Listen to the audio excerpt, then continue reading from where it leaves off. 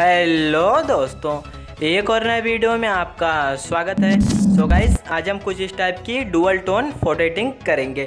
तो इसलिए इस वीडियो को बिना स्किप किए लास्ट तक ज़रूर देखिए। चलिए वीडियो को स्टार्ट करते हैं।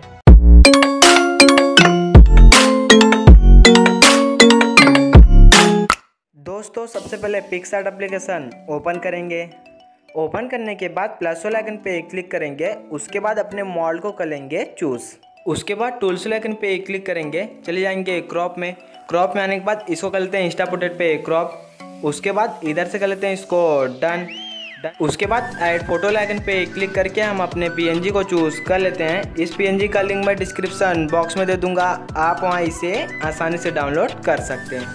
ऐड करने के बाद कर लेते हैं सेट उसके बाद इधर से कर लेते हैं इसको डन डन करने के बाद टूल्स लाइकन पे एक क्लिक करेंगे। उसके बाद चले जाएँगे एडजस्ट में।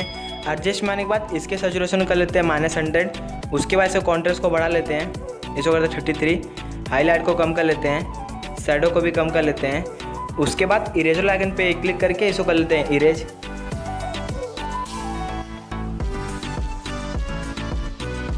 उसके बाद इधर से कर लेते हैं इसको डन डन करने के बाद ड्रॉ वाले आइकन पे क्लिक करेंगे।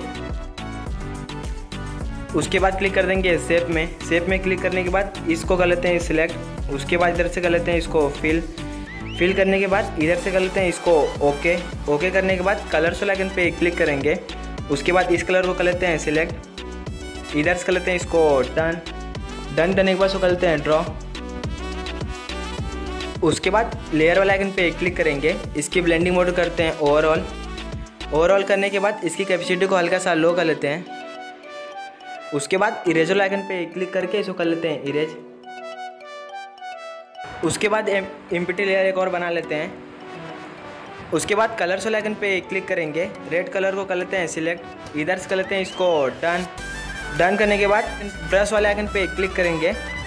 उसके बाद इसके साइज़ को बढ़ा लेते हैं। हार्डनेस को कर लेते हैं ज़ीरो उसके बाद इसकी कैपेसिटी को भी कर लेते हैं कम। साइज़ को करते हैं फुल इधर से कर लेते हैं सेट उसके बाद इसको कर लेते हैं? ड्रॉ उसके बाद लेयर सोलैकन पे एक क्लिक करेंगे, एक और एम्पिटी लेयर बना लेते हैं। उसके बाद कलर सोलैकन पे एक क्लिक करके ब्लू कलर को कर लेते हैं? सिलेक्ट इधर से कर लेते हैं इसको? डन डन करने के बाद इधर से कर लेते हैं? सेट उसके बाद इसको भी कर लेते हैं? ड्रॉ ड्रॉ करने के बाद लेयर वाला आइकन पे एक क्लिक करेंगे। उसके बाद क्लिक कर देंगे ट्रांसफ़र पे। ट्रांसफ़र पे क्लिक करने के बाद इसको कर लेते हैं? सेट उसके बाद इधर से कर लेते हैं इसको? डन डन करने के बाद रेड वाले को भी कर लेते हैं सेट उसके बाद इधर से कर लेते हैं इसको डन. डन करने के बाद इसको कर लेते हैं ओवरऑल उसके बाद इस वाले को भी कर लेते हैं ओवरऑल ओवरऑल करने के बाद इसको थोड़ा सा और सेट कर लेते हैं. उसके बाद रेड वाले को भी कर लेते हैं सेट इधर से कर लेते हैं इसको डन. सो गाइस कि आप देख सकते हैं, हमारा फ़ोटो बन के रेडी हो चुका है. उसके बाद टूल्स लेकिन पे क्लिक करेंगे. चले जाएँगे एडजस्ट में। एडजस्ट मारने के बाद इसकी क्लियरिटी को बढ़ा लेते हैं। उसके बाद कॉन्ट्रेस्ट को भी बढ़ा लेते हैं। हाईलाइट को कम कर लेते हैं। उसके बाद इधर से कर लेते हैं इसको डन सो गाइस कि आप देख सकते हैं, हमारा फ़ोटो बन के रेडी हो चुका है। अगर आपको ये वीडियो पसंद आया तो वीडियो को लाइक करो और अपने दोस्तों को ज़्यादा से ज़्यादा शेयर करें।